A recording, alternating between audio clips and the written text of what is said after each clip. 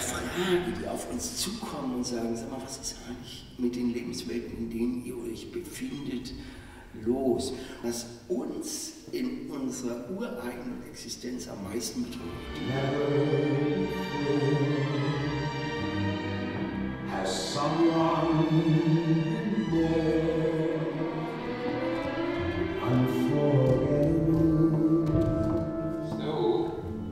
So ist. Was? Leg erstmal dein Auge an. Ja. Bisschen, ne?